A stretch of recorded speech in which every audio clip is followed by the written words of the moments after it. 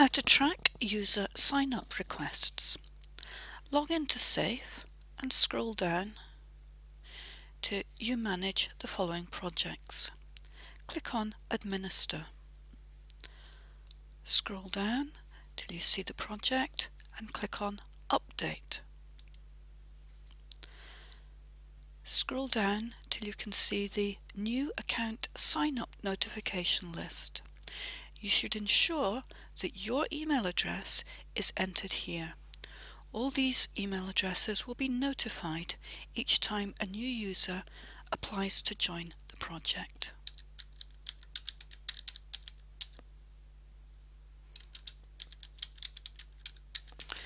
Click on Commit Update and you will now be notified each time a user requests to join the project.